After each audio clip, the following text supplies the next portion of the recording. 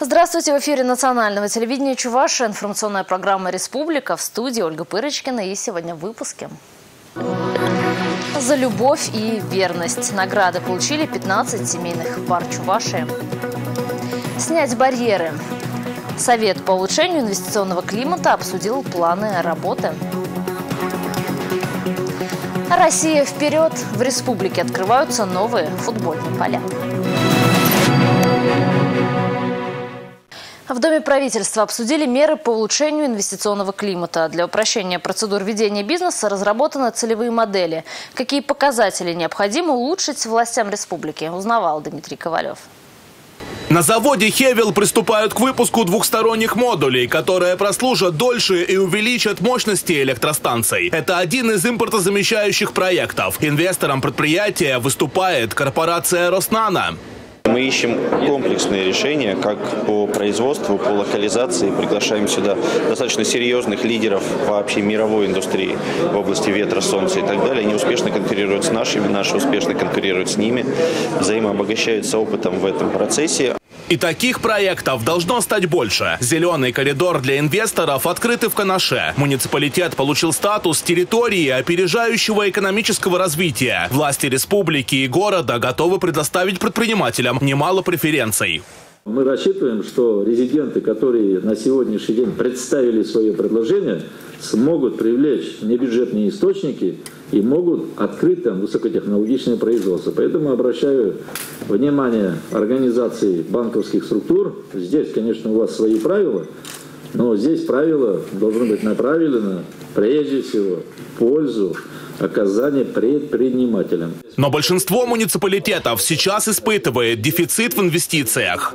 Отвечать за улучшение инвестиционного климата и руководители ведомств и власти на местах будут персонально. Потому, насколько комфортно станет работать предпринимателям, правительство региона намерены оценивать и деятельность управляющих команд муниципалитетов. Во многом именно от них зависит, какие позиции в национальном рейтинге займет республика в следующем году. Глав муниципалитетов призвали к ответу. Михаил Игнатьев отметил, что руководители на местах должны выявлять болевые точки и снимать возникающие перед бизнесом барьеры. По поводу структуры и по проектам, которые мы сейчас непосредственно ну, создаем команду э, в городе Алатыре. Мы э, создали совет предпринимателей. Разрешение на строительство за сколько дней э, выдавали при надлежащем оформленном представлении материалов? Максимально у нас 65 дней, но если весь комплект они принесут, за 7 дней мы выдаем. Всех присоединения МУП коммунальной сети, из них половина в электронном виде, будем а, вести разъяснительную работу с предпринимателями для того, чтобы 100% в электронном виде подавали. Электронная площадка – одна из действенных мер поддержки бизнеса. Количество онлайн-услуг растет. Уже 15 услуг регион, республиканского и муниципального уровня переведены в электронный вид. В личном кабинете а, всех наших услуг подаете в электронном виде, вы полностью можете отследить как сроки, так и, соответственно, действия по этим процедурам. Но и бизнес требует больше. По последним опросам, предпринимателям стало сложнее получить документы на строительство и подключение к сетям. Для улучшения показателя нам необходимо сегодня ресурсникам проанализировать схемы техприсоединения. Ну, 55 дней сегодня не устраивает бизнес уже, как мы видим. Сегодня, кроме всего этого, национальный рейтинг еще увязан, вы знаете, что с целевыми моделями, целевые модели регулирования правоприменения.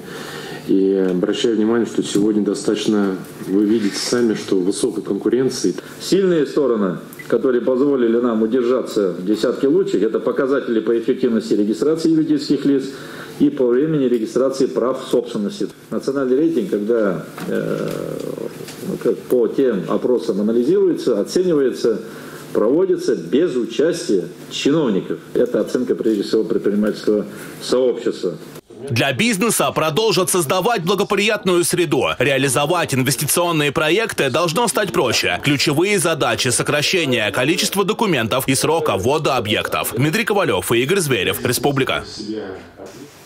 В это воскресенье, 8 июля, россияне отметят один из самых молодых праздников – День семьи, любви и верности. Сегодня орденом за любовь и верность наградили пары, которые прожили в браке больше 50 лет. И жили они долго и счастливо. Это про них. 15 супружеских пар сегодня получили награды за любовь и верность. Нина и Вячеслав Игнатьевы познакомились в 1965 году. Сейчас у них четверо сыновей, девять внуков и одна правнучка. Вы помните, как познакомились с супругой? А как? В соседней деревне. Мы, у нас деревня рядом, через речку. Вот. С другом пошли как-то. Она одна идет, я один. Встретились. Вроде ничего показалось мне. Ну и я ей говорю, можно вас проводить? Пожалуйста, но отказа не было, вот, с тех пор. Надо уметь прощать. Бывают недоразумения, частенько бывает в первые годы. Надо уметь прощать и стараться понимать друг друга. Это самое главное. Первый раз День семьи, любви и верности отметили в 2008 году. А вам что больше нравится, День Святого Валентина или День семьи, любви и верности? День семьи, любви и верности. Почему? Ну, потому что я люблю свою семью больше всего. Я считаю наш праздник лучше.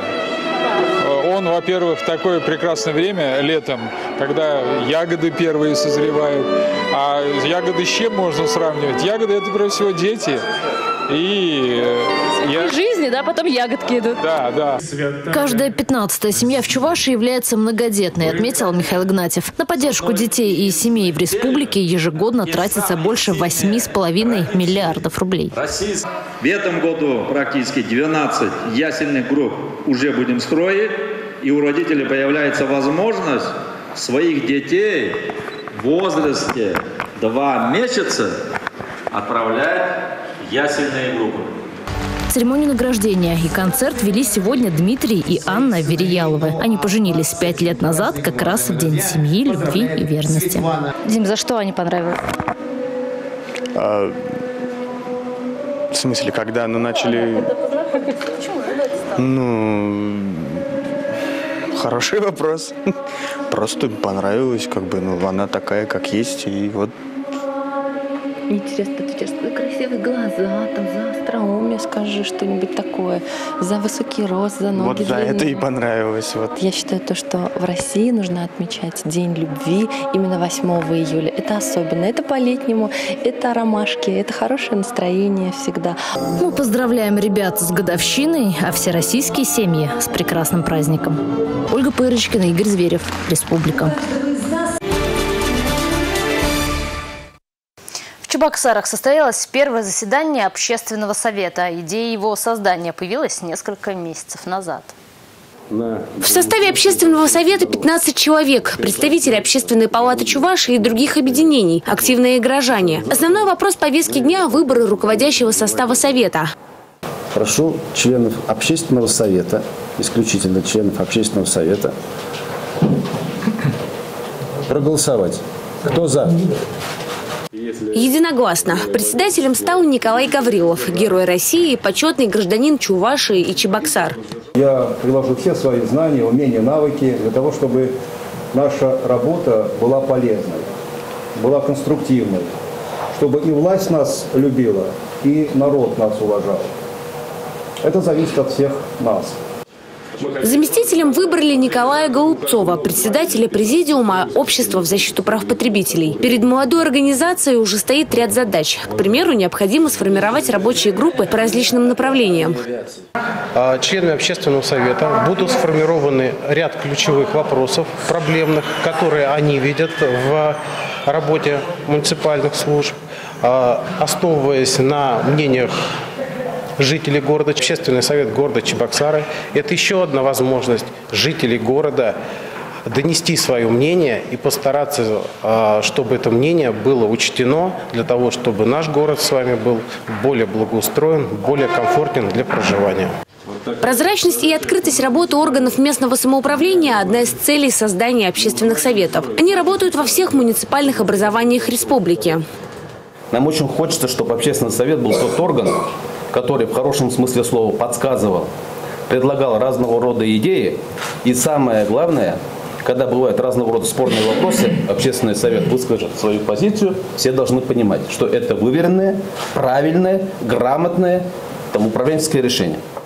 Татьяна Леонтьева, Алена Алексеева, Валерий Резюков, Республика. А 7 июля Чувашия примет 18-й федеральный Сабантуй. Сейчас в Чебоксарах обустраивают площадку, на которой развернутся масштабные гуляния. Одна из них – территория возле монумента матери. Возле монумента матери покровительницы буквально на глазах вырастает татарское подворье. Рабочие возводят национальные избы, бани, мельницу. На все время праздника здесь поселится домашняя живность. Лошади, гуси, куры. Рядом откроются лавочки с сувенирами. Гостей праздника будут угощать самыми вкусными блюдами татарской кухни. Но самое яркое и зрелищное – это национальная борьба кереш. Силачи будут бороться тут же на площадке. Ее как раз обустраивают. К нам съезжают гости из 41 регионов. Наш наши друзья. И приезжают очень много профессиональных артистов, самодеятельных артистов. Федеральный Сабантуй делится на несколько частей. Конечно, это главная сцена у него будет э, в центре, где наши э, э, на Красной площади. А вот самые вот народные игры, это будет, конечно, все будет за моей спиной. Народные игры тут будут. Потом э, татарское селение, где прошли э, Сабантуи, наши национальные праздники Чувашской республики. Это пять селений будет представлять. Преобразить Преобразился и пешеходный мост, который ведет от Красной площади до Монумента Матери. Его украшают флаги 60 регионов страны. Это своеобразный портал, по которому гости смогут попасть из Чувашии в Татарстан. Организаторы обещают, что Сабантуй пройдет с невиданным размахом. Национальный праздник вновь объединит народы и города страны. Галина Титарчук, Борис Андреев, Республика. У вас старый балкон. Заменить или отремонтировать его поможет муниципальная программа развития жилищного строительства и сферы ЖКХ. Как она работает, об этом далее. Любоваться видами с балконов жители дома номер три по улице Гагарина не спешат. Трещины в основании бетонной плиты, облупленная краска на ржавых перилах. Возраст балконов более 50 лет. Балконы э, требуют ремонта, э, крошатся. Э, э, когда балкон был, ну, без кры... были без крыши, часто жильцы дома жаловались, что дождь, лужи на балконе, заливают, капают ниже этажом. Хочется, чтобы люди ходили спокойно и э, э часть балконов с крыш на людей не падала. Падать ничего не будет, обещают в управлении жилфондом. Из 24 балконов ремонтируют 16. Другие жильцы починили своими силами. Строители укрепят плиты, заменят ограждения и остеклят балконы. На последних этажах установят козырьки. За качеством работ следят технадзор и специальная комиссия. Одно из главных условий муниципальной программы – софинансирование в размере 25% от общей суммы. Стоимость работы по этому дому порядка миллиона рублей. Жильцы платят 25% от сметы. Один балкон примерно сколько? Один балкон с учетом софинансирования порядка 16-17 тысяч жильцов. Скоро такие же работы начнутся еще по пяти адресам. Чтобы в вашем доме отремонтировали балконы, необходимо составить протокол общего собрания жильцов и передать его в столичное управление жилфондом. Татьяна Леонтьева, Алина Сусметова, Валерий Резюков. Республика. Поймать на феромоны как можно больше самцов. Жуков и сачей. Такая задача сейчас стоит перед сотрудниками Россельхознадзора. Эти насекомые портят древесину, и задача специалистов – выяснить карантинные участки леса, где в этом году их выявилось особенно много. Вот эта ну, пробочка с химическим препаратом. На нее слетаются все самцы в округе. Они прилипают на эту клеевую основу. Там нет внутри клеевой основы. Эти бабочки здесь прилипают и уже вылететь не могут. Их тоже периодически раз в неделю надо снимать, эти бабочек, чтобы свежие налипали. Хорошо. Потому сколько за определенное время на феромонную ловушку попалось жуков, судят о численности популяции в данной местности. На сегодняшний день с помощью таких ловушек выявлены два карантинных лесных вредителя. Это черный сосновый усач и большой черный еловый усач. Опасно не тем, что поедают древесину, то есть поедают не только кору, но и портят саму структуру древесины. То есть э, при распространении данных вредителей э, на территории леса лес, лесоматериал уже полностью непригодный для применения. В местах, где жуков выявилось особенно много, объявляют карантин, устраивают санитарную вырубку сухостоя и ограничивают вывоз оттуда древесины. Звездный, березка, бригантина, росинка. У многих эти названия вызывают ностальгические воспоминания о школьных годах и летнем отдыхе. Вожатые из 10 студенческих педагогических отрядов собрались на 9-й республиканский фестиваль вожатского творчества в лагерь «Солнышко». Танцор, певец, психолог, педагог, фокусник и, наконец, друг. Вот далеко не полный список того, кем должен быть вожатый. Работа у ребят одновременно творческая и ответственная. Ведь именно от них зависит, захотят дети приезжать в лагерь или нет наши вожатые показывают, на что они способны, как они могут работать.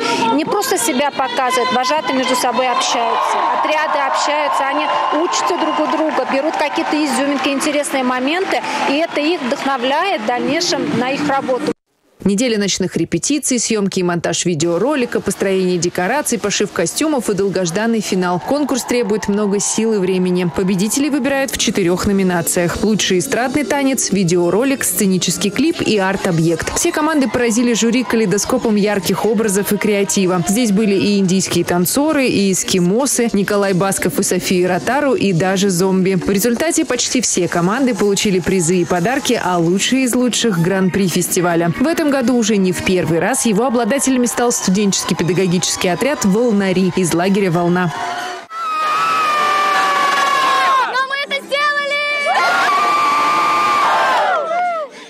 Праздник вожатского творчества удался на славу, а впереди десятый юбилейный фестиваль. Оксана Очкасова, Борис Андреев, Республика.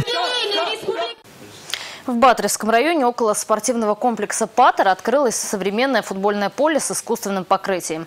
А житель села Батарева Юрий Белинов построил перед своим домом современную площадку для мини-футбола за свой счет. Теперь для тренировок юных футболистов есть все условия. Подробнее у Рифатов Откулина. Зеленые поле для юных батаревских футболистов, как Таиланд для туристов. Одно удовольствие. Целеустремленный Саша с товарищами по мячу методично оттачивает навыки на свеженькой 30-миллиметровой траве. Очень нравится. Мы тут часто играем с, с братом, с друзьями. Ну, мне нравится футбол, но я от этого получаю удовольствие. Мне, мне нравится пинать мяч, там, играть, там, вот это вот, э, э голы забивать, это вот все. Тренировка.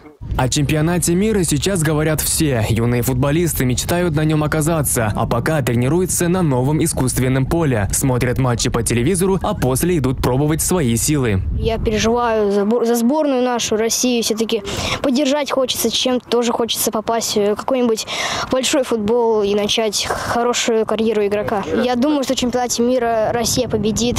И в финале она встретится, допустим, со Францией и выиграет ее со счетом 2-0. Будущим звездам футбола поле пришлось по душе, о нем здесь мечтали давно.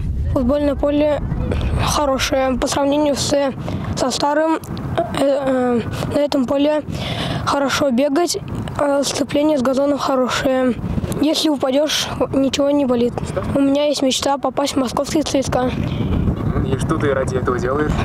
Я ради этого тренируюсь каждый, ну, каждый день, кроме воскресенья, а, с 4 до 6. Новое поле обошлось в 10 миллионов рублей. Эти средства были выделены в рамках инвестиционного проекта по развитию физической культуры и спорта Чувашии. Футбольная площадка с размером 60 на 90 метров дает возможность принимать турниры республиканского уровня. Мне приятно, вот э, иногда тоже прохожу, смотрю постоянно, целый день, вечером и ночью тут ребята играют. Я думаю, вот это самая большая радость, когда что-нибудь там строишь, и от этого получается как бы э, результат, э, что необходимо на самом деле было. Вот это нас радует. У нас и молодежная, и э, ветеранская ведь это сборная команда э, по футболу есть.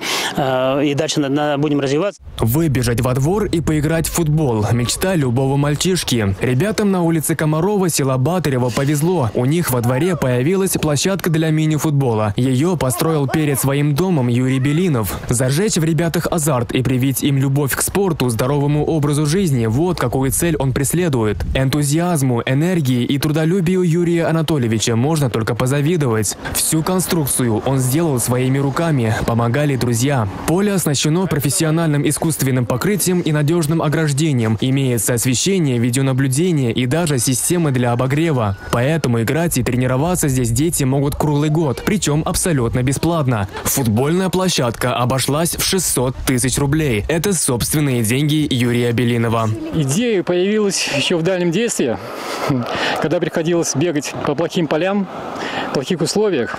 А чтобы дети выращивали хороших мастеров, нужны хорошие поля, хорошие площадки. А особенно на начальный уровень детям нужны такие вот э, маленькие площадки, которые находятся недалеко от дома, когда дети могут сами спокойно до них дойти, без запаса поиграть. И в этом возрасте именно прививается интерес детей к футболу. Там здесь как-то уютно, безопасно, все ограждено, и даже сетка сверху есть. Играть сюда приходят не только местные, но и ребята из соседних дворов. Площадка универсальная, тут же можно и мяч в кольцо бросить, и ракеткой по валану ударить. Есть батут и настольный теннис. В свободное от работы время Юрий Белинов сам тренирует ребят. Он признается, что делает все возможное, чтобы дети росли здоровыми и счастливыми. Рифат Фаткулин, Игорь Зверев, Республика. Это все, что мы успели рассказать вам сегодня. До свидания.